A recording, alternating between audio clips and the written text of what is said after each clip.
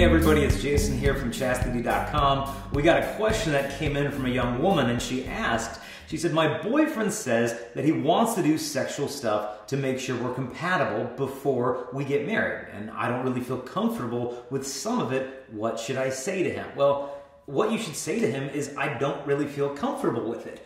And then watch his reaction. Does he get petulant and whiny? Does he get distant? Does he get cold? Does he get manipulative or abusive? I mean, this will tell you volumes about a guy. Because the fact is, sex is not a tryout. I mean, if you fail to kind of throw him sexually, will he love you any less? Then, if so, then you can be certain that he never loved you to begin with. And people say, well, come on, dude. I mean, if you're going to buy a car, don't you test drive it before you buy it?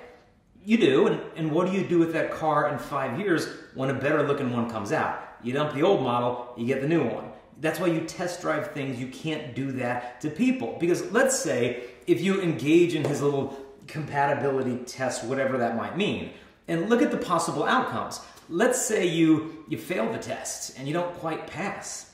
What's to happen? Is he to like sit you down and say, you know, I really appreciate your effort, you know, but you didn't make the team. I was hoping your skill set would be more advanced, but you were kind of more intermediate to beginner. I just wish you had maybe subscribed to Cosmo magazine a couple years longer so you could really know what a man truly wants. I mean, if this happens, not only do you lose the relationship, you lose your self-respect in the process. But let's say you engage in his compatibility test and, and you pass. Like you pass with flying colors. What's he gonna say? Like, congratulations, you know, you made the team great. I mean, you just won a guy for the wrong reasons. Because he, if he stays with you because you're sexually compatible, then what happens, you know, is that he's not really staying with you because of who you are. He's staying with you because of how you please him. But what happens, you know, five years from now when he has a secretary that maybe seems more sexually compatible with him? I think what often happens before marriage is that sexual compatibility in the bedroom obscures and covers up a serious lack of compatibility outside of the bedroom. It's like if you want to read a book and someone shoves it too close to your face, you can't see. It, it, it's too blurry. You have to pull it away to see those words crisply. And it's the same thing with the value of the human relationships. Human sexuality not only blinds you, it binds you. It gives you that sense of closeness where you can't critically look at serious aspects of the relationship. That's why sex in marriage is ideal because it makes you less judgmental of one another. But prior to marriage, it can be pretty dangerous. To all of this, someone might say, okay, well, fine and good, but how do you know though if you're going to be sexually compatible with the future spouse? Because don't you kind of want that part of your relationship to kind of be in sync? Well, I think you absolutely do, but here's my theory. I think a person will make love as they love. If their love before marriage is selfless, it is affectionate, it is playful, it is aggressive, it is selfish, it is violent, whatever those personal tendencies may be, will find themselves manifesting in all aspects of the relationship, including the sexual ones. And it isn't just naivete of, oh, well, things will figure themselves out in marriage. I remember when my wife and I were engaged, we got a phone call from MSNBC. They wanted to be on this Phil Donahue show like two weeks before we got married. So we flew out to New York City and they picked us up in a limo and drove us to the studios. And before we knew it, we're on live nationwide TV. And we were there with a whole panel of people, one guy from the NBA who was saving sex for marriage and people that didn't agree with our viewpoints. And I remember being on the show and they took a live call. And this man said, uh, yeah, I've got a question there uh, for your guests on the show, that engaged couple that's about to get married in a few weeks. He said, honestly, I just think they're naive and they're going to get married. They're not going to know how to perform in the bedroom and it's just going to be a disaster. and I kind of laughed because, I mean, like, perform? You know, like, is this America's Next Great Talent TV show? Like, you know, I think that was a miserable performance. Well, I think he tried really hard. Let's give him five stars. Like, this is not about a performance. This is about a total gift of self. If there's judgment going on there, something's off because really, what's the worst thing that could happen? It isn't perfect the first time and you got to try again later. Well, well, gee darn, right?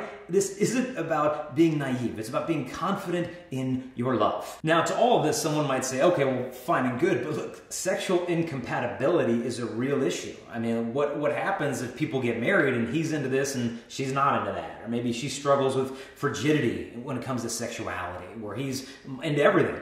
Well, I think sometimes sexual frigidity or certain sexual interests are the fruit of a deeper root that really needs to be addressed. Like maybe the stuff that she's a little frigid toward, she should be.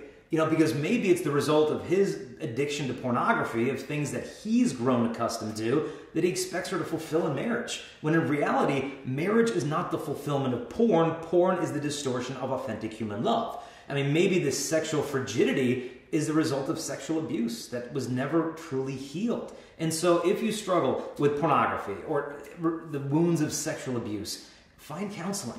If you go to womenmadenew.com, you can find a list of counselors nationwide. Dig into this prior to marriage to resolve these deeper issues instead of thinking that marriage is going to be some car wash that takes it all away. But in the end, I'll tell you, marriage is going to be hard work. There's going to be times where you are not sexually on the same page or perfectly in sync or that's going to happen. And, and, you need to be able to anticipate that and maturely work through those struggles because it takes time. I mean, it takes a lifetime. Not only get to know a person, but to know how to love them rightly. And honestly, if your boyfriend does not have enough confidence in your ability to work through this issue, well, maybe then the real issue isn't your deficiency of sexual skills. Maybe the real issue is he has a deficient understanding of authentic human love. And so I'll leave you with this. It's a quote from G.K. Chesterton. He says this If Americans can be divorced for incompatibility of temper, I cannot conceive why they are all not divorced. I have known many happy marriages, but never a compatible one. The whole aim of marriage is to fight through and survive the instant where incompatibility becomes unquestionable. For a man and a woman, as such, are incompatible. And I think this might be why the, the word compatible, the etymology, comes from Latin, cum pati, which means to suffer with. Lasting marriages aren't because you just fit so perfectly. They're because you show up and you fight for your marriage when things get tough. It's going to require patience, sacrifice, self control, all these things. But love is not afraid of those things. Love is those things. And so, what do you think? Leave a comment below, thumbs up if you like it. Don't forget to hit the subscribe button. And most importantly, put your own questions in the comment sections underneath, and uh, we'll try our best to answer those questions. God bless you, and keep your standards high as heaven.